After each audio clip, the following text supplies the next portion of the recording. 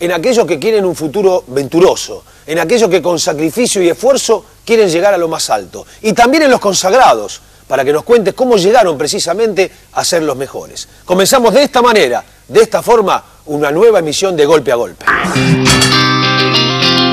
Bueno, estamos acá en San Francisco Solano, en la calle de mi barrio, en la esquina de mi casa. Cuando vengo es como que me voy como nuevo cuando voy, porque vengo estoy con, con toda mi familia, me curso los pibes. Ezequiel es una persona muy de corazón muy grande, lo veo que está re bien él eh, en lo de él y me pongo contento, loco, porque el chabón está triste y a la vez está contento porque el año pasado perdió al padre, eh, son muchas cosas, ¿viste? Él estaba solo, luchando por su hijo, por su familia. Haber presentado a la Argentina, representado a la Argentina en el mundo fue un gran compromiso porque llevaba mi bandera y la siento en el corazón. Este, fue algo muy grande, algo fabuloso. Lamentablemente no, no pude concretar traerme el título del mundo, pero estoy convencido que la próxima vez me lo voy a traer como sea. Llegué a cuarta división en Vélez y me tenía que, decidir. Cuarta división. O una u otra. Y bueno, me dediqué al, boxeo. Ahora, ¿cómo, ¿cómo, se descubre o cómo descubren tus hermanos que tenían condiciones por el boxeo? Porque los complicaba mucho a ellos. ¿Hacías guantes con ellos? Guanteaba con ellos y los complicaba ¿Pero mucho. por hobby? Sí, por hobby.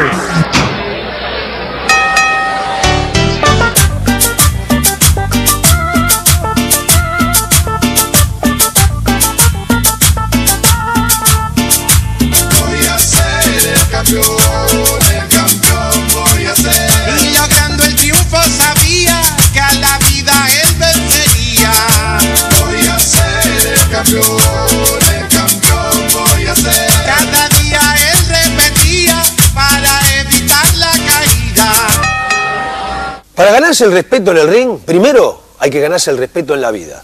No debe haber nada más gratificante que el reconocimiento de la gente que lo rodea cuando uno trabaja como corresponde. Hay muchos personajes dentro del boxeo argentino. No nos cuesta mucho encontrar. Por ejemplo, hemos elegido hoy a Ezequiel Elepi Martínez, un hombre de trabajo, sacrificio y que tiene mucha ilusión para llegar a lo más alto. Su trabajo comenzó hace dos años. ¡Dale! Acostumbrados a esto toda la noche. Esta es una noche de las más livianas. No hace tanto calor, no hace tanto frío. Así que pasar. Pero hay que laburar como siempre. Hay que darle.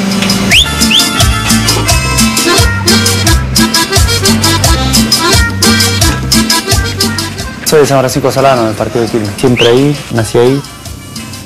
Empecé cuando iba a cumplir 16 años. Una semana antes, creo. Había un pibe del barrio de ahí que boceaba, y fui, dije que quería practicar. Siempre me gustaba a mí igual, yo miraba la tele y me gustaba. Bueno, esta meditación, donde yo concentro durante toda la semana, donde el sindicato me dio la posibilidad de que yo me aloje para que pueda trabajar, para que pueda entrenar. Está frío, ¿eh?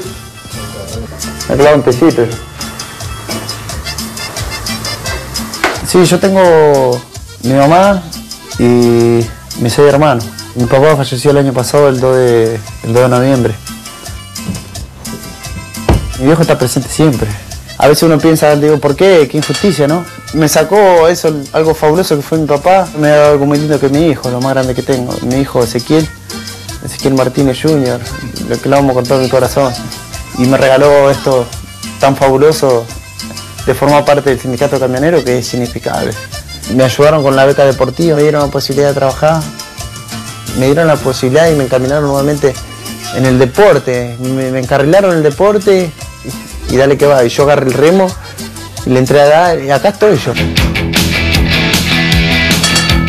Voy a estar nuevamente en Luna Park, donde el escenario más grande de boxeo de la Argentina y de Sudamérica, no sé si del mundo también. Me hubieron grandes campeones, grandes boxeadores internacionales.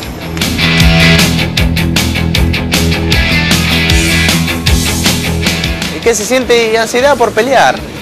Ansiedad por pelear, quiere subir, quiere que empiece la pelea y ya estar enfocado en eso, viste que está ahí y no existe nadie, ¿entendés? Meterte ahí, entrar en calor, ya en los primeros rounds y ya entraste en calor y bueno, a pegar, a pegar que te pegue, siempre atento, despierto.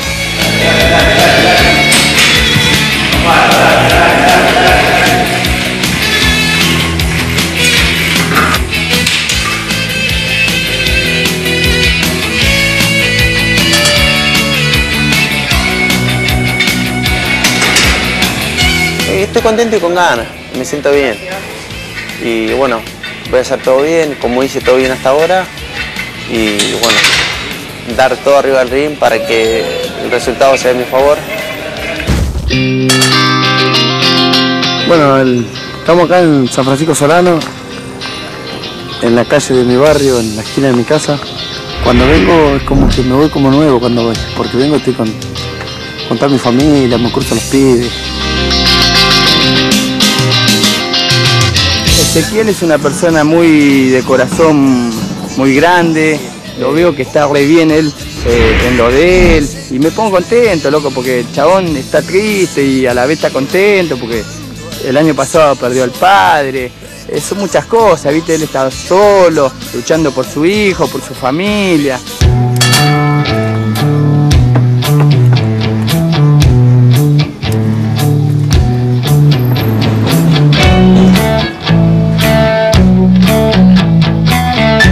Esta bandera la, hice después que falleció mi papá. Este, y bueno, la bandera tiene la cara de él que está en el cielo, que se lo llevó el globo de huracán y de arriba del cielo me ilumina a mí. Y bueno, y Eva y Perón que también están en el cielo, ¿no? Donde lo ilumina a Pablo Moyano y a Hugo Moyano.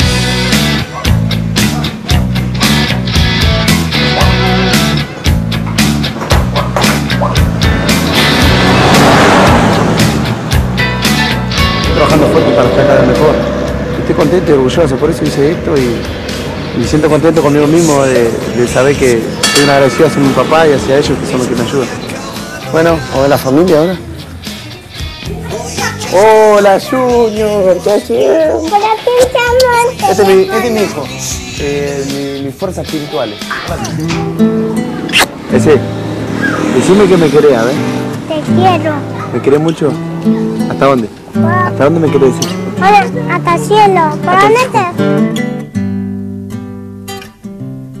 Promesa. Podría ser para los productores de golpe a golpe o los directores de golpe a golpe una columna muy importante. Precisamente nos encargamos de mostrarles a todos ustedes aquellos que tienen mucho futuro. Nació en San Miguel en 1986, en el partido de Moreno. Es una de las grandes o de uno de los grandes proyectos del boxeo argentino. Lo empezamos a conocer. Es de familia de boxeadores. Para más datos, su padre es Rudecindo Chávez. Para más datos, tiene hermanos que fueron boxeadores. Ariel Chávez, campeón argentino y sudamericano. Ismael Chávez, que peleó en una pelea eliminatoria por el título del mundo. Y Carlitos Chávez. Brillante carrera amateur. 62 triunfos. Brillante carrera profesional hasta acá. Ya debutó en los Estados Unidos con un gran triunfo. 15 peleas, 12 ganadas por nocaut. Presentamos a la joya, Diego Chávez.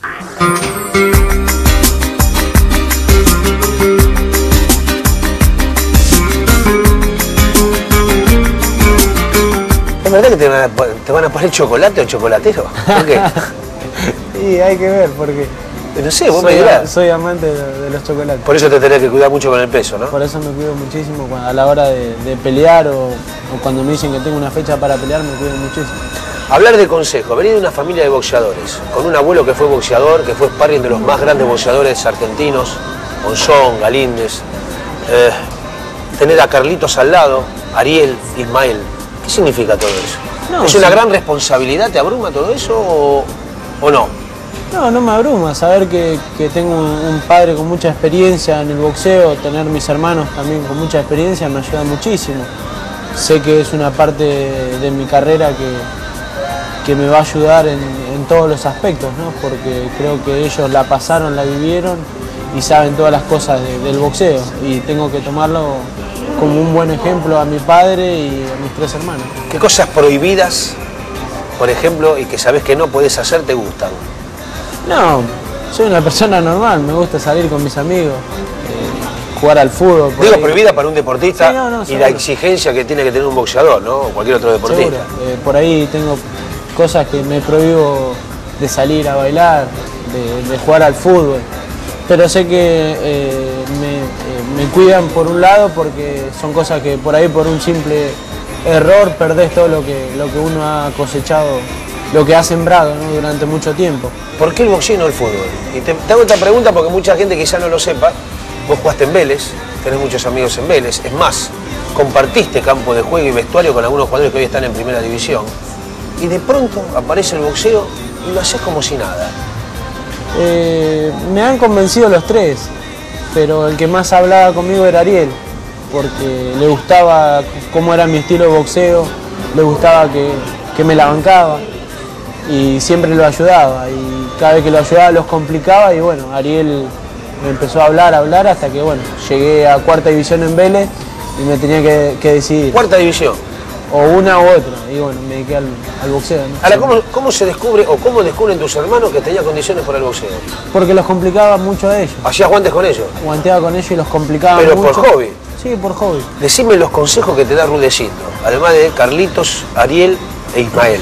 cuidarme, entrenar bien, eh, hacer caso al rincón en una pelea complicada, que, que no haga macanas, ser, hacer una vida normal pero no hacer macanas, o sea, alcohol, noche, Sexo. sexo, todo lo que...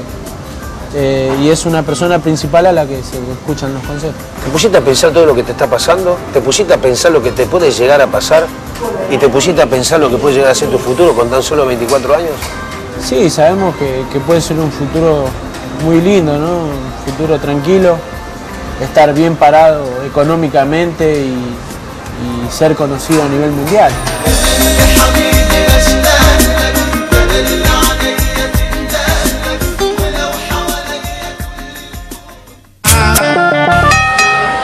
Ibutec, el analgésico que te sienta bien.